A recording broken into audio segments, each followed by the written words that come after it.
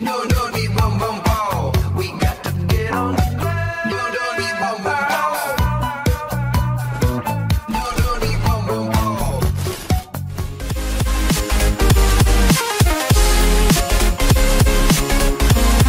Salve galerinha do YouTube! Tudo bem com vocês? Aqui quem fala é o Luigi. Sejam bem-vindos ao meu, seu, nosso canal. Estou com óculos porque acabei de acordar. Sejam bem-vindos ao meu vídeo e hoje a gente vai falar um pouquinho sobre vazamento aí do fã de Panda, um dos maiores vazadores de informações que já acertou tudo do GTA Online. Então vamos trazer aqui mais informações dele, tá bom? Lembrando, se você não é inscrito ainda, se inscreva no canal. Tem o botãozinho vermelho ali embaixo, você aperta nele, se inscreve e fica sabendo de todas as notícias. E pra saber também, na hora que sai, ativa o sininho. É muito importante você ativar o sininho no canal. Ativem o sino. Não é uma cilada, fica tranquilo, é só o sino, beleza?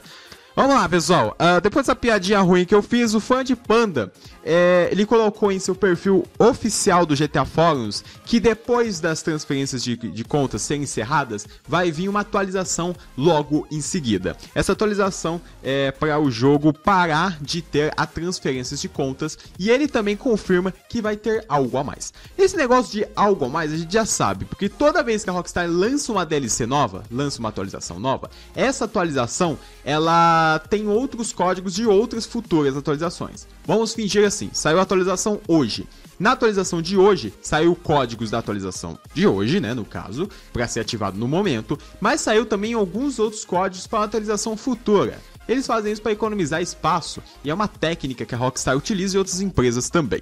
Ele colocou também que tem um código que vazou, vou também colocar na tela, que significa que vai sim ter uma nova atualização. Ele não confirmou o dia, mas tem algumas especulações. No caso aqui, eu vou até abrir aqui o bloquinho de notas que eu tenho.